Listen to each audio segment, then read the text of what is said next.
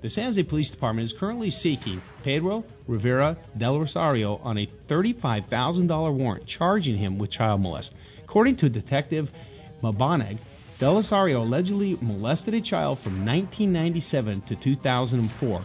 He was last known to be living in the area of Overfelt High School in East San Jose. He may have fled to the Philippine Islands.